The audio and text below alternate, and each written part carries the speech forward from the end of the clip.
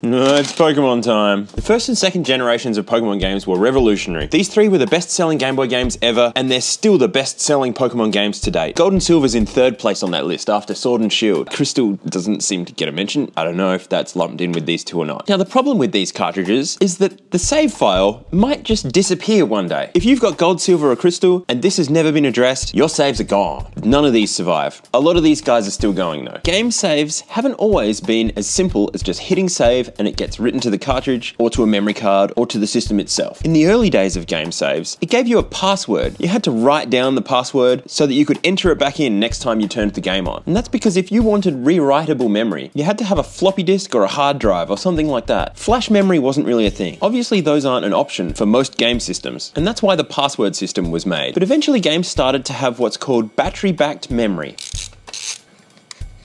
In these cartridges, that's this guy. The first time this was ever used in a video game was The Legend of Zelda in 1986 on the original Nintendo, and it really didn't phase out until the 2000s. Now the problem is, this battery here is not rechargeable, and even if it was, it would still have a lifespan. And when this battery eventually goes flat, this chip loses power and your save is gone. So I'm going to show you how to change this battery without losing your save file. The first thing you're going to need is a special bit to remove the security screw. These are normally sold as game bit. They're a bit like an external Torx screw, so sometimes they'll be listed as eTorx, but they actually don't conform to that standard. So game bit or Nintendo screwdriver or whatever, just have a look on the internet, you'll find something. It's important to know that there's two sizes though, and the games take the smaller size. They often sell as a pair, so buy both just to be sure. One way is to buy a device that will let you back up your save game to a computer and then copy it back after you've changed the battery. But there's a much cheaper and quicker way if you don't mind a little bit of extra soldering. And the reason why I said if you've got gold, silver, and crystal, your save's gone if it hasn't been touched, is because these have a little bit of extra circuitry here. And what that is, is the real-time clock clock. The Game Boy didn't have the ability to set the time on the system, so games that wanted to use the time for in-game events and stuff had to have a clock built into the cartridge which ran all the time. It's just like having a digital clock with no screen. That means each time the game starts up, it can see what time it is and how long it's been since you played. This game even tells you what time it is in the game. It seems like pretty basic stuff now, but that was new technology back then. However, the clock uses more power, so now we're running the clock and the memory chip. These batteries were going flat within 10 years of the game being launched. All the hours I spent on Pokemon Gold as a kid,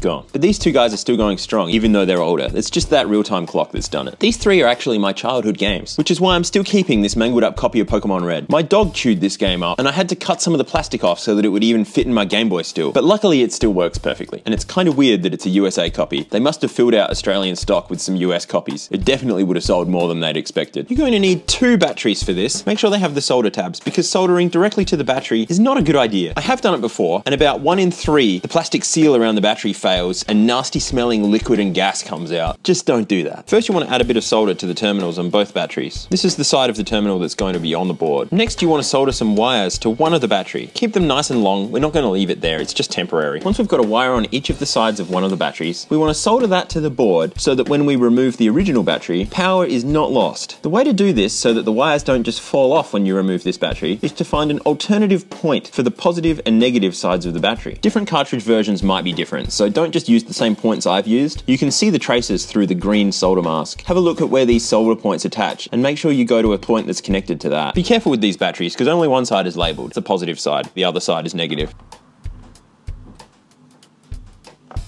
I don't really have a good place for the positive wire, but this tiny resistor does connect to the positive side of the battery. I'm going to very carefully solder to there. On very small solder joints, it'll help if you add a bit of solder to the end of your wires too.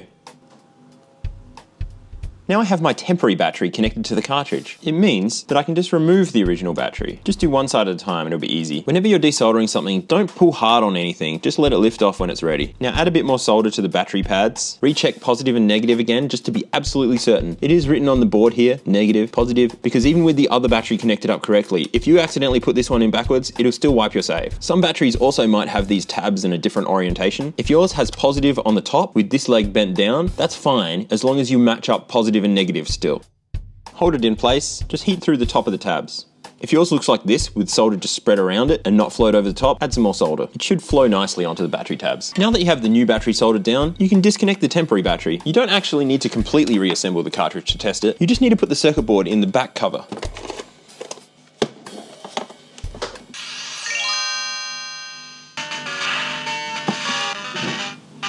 We've still got a save. Let's see what Pokemon I had back then. Aha! A level 243 Marowak, a level 140 Golduck, a level 100 Mew, a level 100 Vaporeon, and a level 100 Raichu. Yeah, I had nothing against cheating back in those days. I like to play games a bit more purely now. The maximum level is supposed to be 100. This Mew is interesting though. OTNAL, its original trainer, Nintendo Australia Limited. I got this Mew from the Poker Tour in 1999. I took my Game Boy game in there, plugged it into their machine, and it transferred me a Mew. And then I ruined it with rare candies. So hopefully my save's gonna be good for another 25 years. Except it probably won't, because finding good quality batteries in Australia is really hard. All the reputable distributors online say they don't ship to Australia. It must be because they're lithium batteries, and there's restrictions on that sort of stuff. These are straight off eBay. I think they're called Eurocells or something. I wonder who they're trying to pretend to be there. If you've backed up your save to a computer, or it's already lost, you can just heat the old battery straight off, add solder to the board, heat your new battery on there, then whack your cartridge back together.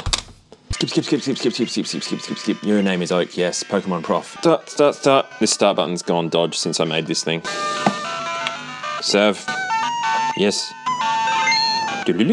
Now I should be able to turn it off, pull the game out, wait a little while, plug the air back in, turn it on, and it's there. It knows what time it is, and my save file is here. James with no badges and no time. Now, at this point, some of you are probably thinking, hey, there's another mod. You can get rid of the battery and never have to worry about losing your save file. And you're right. There's something called a FRAM mod, which I assume is flash RAM. There's a chip that's designed to go instead of some battery-backed RAM chips, and it can be made to work on Game Boy cartridges. But it's not 100% compatible, and even the best versions of the mod still have some issues to iron out before I'm willing to recommend that you do them. They work perfectly fine in all of the Nintendo hardware except the Pokemon Stadium transfer pack. If you try and play it on Pokemon Stadium on an American or Japanese console, it'll just delete your save file. And the same goes with some of the hardware that copies the game save to a computer. I borrowed a Retrode so I could back up some of my games. And in my research, I found that if I did the batteryless mod on one of these and then tried to back it up on here, it would just delete the save file. And you can't read or write the save file unless you do a temporary mod on the cartridge just while you're using the Retrode. So for now, just keep changing your batteries. But if you have an idea for a non-volatile memory mod for these Game Boy games, which has 100% compatibility, works on the Retrode, works on NTSC Pokemon Stadium, I want to hear about it because I would love to do that on these cartridges. I'm going to do the rest of these off camera because I want all of these to work. But now you know how to change the battery in a game cartridge without losing your save. And the same method works on other cartridges, even for other consoles. Just to make sure you get the right size battery and make sure you're not putting a non-rechargeable in place of rechargeable. And now I get to thank my patrons. This is new to me. Massive thanks to these people especially, who are my top tier patrons. I'm a pretty serious game collector, and on Patreon, I share a photo of every single video game thing I get. So if you want to see, it's a dollar a month. Link in the description.